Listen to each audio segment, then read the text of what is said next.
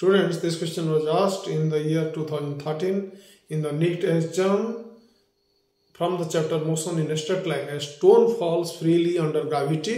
It covers distance h1, h2 and h3 in the first 5 seconds, the next 5 seconds and the next 5 seconds respectively. The relationship between h1, h2 and h3 is. Students, when a body undergoes free fall, then u is equal to 0. So, h is equal to ut plus half gt square becomes this u becomes 0 so h simply becomes students half gt square okay then what will be if t will be 5 second what will be h1 h1 will be uh, ये हम लेते हैं कि जो पहला पाँच second में बड़ी h1 हाइट uh, तय किया ओके स्टूडेंट तो एच वन क्या हो जाएगा? हाफ़ जी इंटू कितना स्टूडेंट ये हो जाएगा टी स्क्वायर मतलब फाइव स्क्वायर ओके स्टूडेंट इसका मतलब है twenty five twenty five g by two okay और जो नेक्स्ट फाइव सेकंड में क्या हो जाएगा? Five plus five second total time कितना रहेगा? टोटल टाइम हो जाएगा टेन सेकंड टेन सेकंड में बॉडी कितना मूव करेगा? S two will be equal to half g into 10 square. So, this will be equal to 100 into g by 2. Okay student ये बन जाएगा 100 g by 2.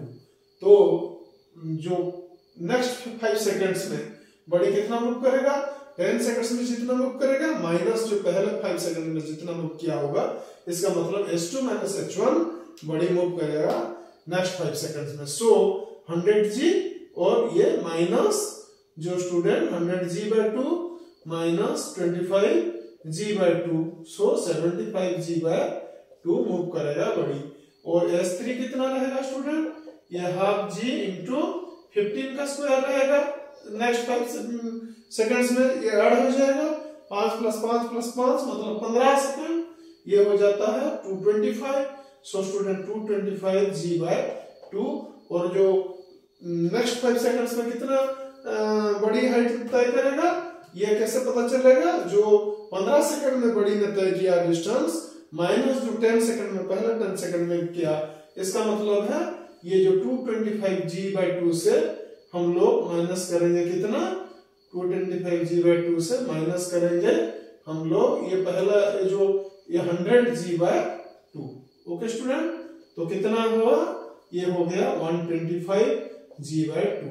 तो पहले फाइव सेकंड में ये गया स्टूडेंट यहाँ लिख लेते हैं twenty five g by two और नेक्स्ट में गया नेक्स्ट फाइव सेकंड में seventy five g by two और तीस, तीसरे में तीसरे फाइव सेकंड में गया one twenty five g by two तो it is evident student from here that that is one is to three is to five और यू सी स्टूडेंट यहाँ पे दिया गया है कितना? H one is to h two है।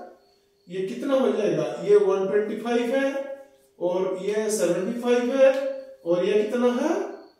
ये 125 है।